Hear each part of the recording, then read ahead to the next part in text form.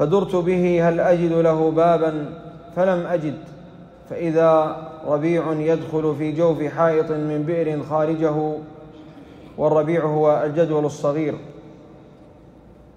فاحتفزت فدخلت على رسول الله صلى الله عليه وسلم فقال أبو هريرة فقلت نعم يا رسول الله قال ما شأنك؟ قلت كنت بين أظهرنا. فقمت فأبطأت علينا. فخشينا أن تقتطع, أن تقتطع دوننا. ففزعنا فكنت أول من فزع. فأتيت هذا الحائط فاحتفزت كما يحتفز الثعلب. وهؤلاء الناس وهؤلاء الناس ورائي. فقال يا أبا هريرة وأعطاني نعليه. فقال اذهب بنعلي هاتين. فمن لقيت من وراء هذا الحائط يشهد أن لا إله إلا الله. مستيقنا بها قلبه فبشره بالجنة. وذكر الحديث بطوله رواه مسلم. وهذا الحديث فيه من الفوائد. أولا أن الصحابة رضي الله عنهم كانوا يجلسون مع النبي صلى مع النبي صلى الله عليه وسلم من أجل أن يستفيدوا منه. وفي مرة كانوا قعودا حول الرسول صلى الله عليه وسلم ومعهم أبو بكر وعمر. وكما مر علينا أنه كثيرا ما يأتي في الأحاديث أن النبي صلى الله عليه وسلم ومعه أبو بكر وعمر فكان وزيراه وصاحباه رضي الله عنهم وأرضاهم فكان وزيريه وصاحبيه رضي الله عنهم وأرضاهم فأبو بكر وعمر كثيرا ما كان النبي صلى الله عليه وسلم يقول دخلت أنا وأبو بكر وعمر وخرجت أنا وأبو بكر وعمر وجئت أنا وأبو بكر وعمر ويصدق هذا أبو بكر وعمر ويؤمن بهذا أبو بكر وعمر. كل هذا فضيلة لهذين الصحابي الصحابيين الجليلين. وفي هذا الحديث يقول أبو هريرة كنا قعودا حول النبي معنا نفر ومعنا أبو بكر وعمر. فقام النبي صلى الله عليه وسلم فأبطأ علينا. فلما أبطأ عليهم الرسول صلى الله عليه وسلم خشوا أن يقتطع من دونهم يعني أن يقطعه أحد من المنافقين من الكافرين الذين يتربصون برسول الله صلى الله عليه وسلم.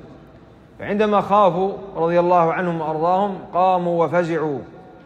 وهذا دليل على إيمانهم رضي الله عنهم وأرضاهم وأنهم يفدون رسول الله صلى الله عليه وسلم. ودليل على شجاعتهم. ومن أشجعهم أبو هريرة رضي الله عنه. فكان هو أول من قام فزعا يبحث عن رسول الله صلى الله عليه وسلم. فأبو هريرة ليس ليس فقط راوي لأحاديث الرسول وحافظ لأحاديث الرسول بل كان شجاعا يفدي رسول الله صلى الله عليه وسلم. فقام فزعا يبحث عن رسول الله صلى الله عليه وسلم حتى أتى حائطا لبني النجار من الأنصار. فدار على الحائط حتى يجد بابا يدخل عليه فلم يجد بابا مفتوحا يدخل منه. فرأى جدولا صغيرا وهو النهر فاحتفز أي أنه تصاغر كالثعلب ثم دخل. فلما رآه النبي صلى الله عليه وسلم قال أبو هريرة قال نعم. قال ما شأنك؟ فقال له إنك خرجت وابطأت علينا وخشينا أن تقطع دوننا. فقال له النبي صلى الله عليه وسلم يعني اذهب وبشر من خلف هذا الحائط. أنه من يشهد لا إله إلا الله مستيقنا بها دخل الجنة وأعطاه نعليه أعطى أبا هريرة نعليه. وقد ذكر بعض العلم أن سبب إعطاء النبي صلى الله عليه وسلم نعليه لأبي هريرة من أجل أن يصدق الناس أن الخبر من رسول الله لأن معه علامة أنه جاء من رسول الله وهي نعال رسول الله صلى الله عليه وسلم.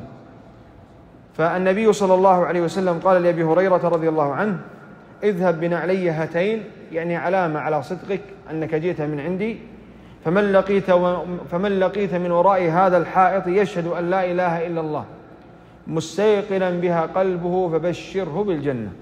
وانظر هنا القيد. ليس لا إله إلا الله مجرد كلمة تقال. يعني بعض الناس الآن يقول من قال لا إله إلا الله؟ يفعل ما يفعل فهو مسلم. ليس صحيحا. ولو ترك كل الأعمال ولو فعل كل كل الشرك وكل الكفر يقول يكفي أنه يقول لا إله إلا الله. ما ينفع هذا. لا إله إلا الله لها شروط لها أركان. لا بد من تحقيقها وإلا لا تنفع. فقد كان المنافقون يقولون لا إله إلا الله محمد رسول الله ولكن لم تنفعهم في الدرك الأسفل من النار لأن قلوبهم لم تؤمن حقيقة فكانوا يتظاهرون بها فلم تنفعهم. وكان مسيلمة الكذاب ومن معه يقولون لا إله إلا الله محمد رسول الله ولكنهم فعلوا ناقضا من نواقض الإسلام فادعى النبوة.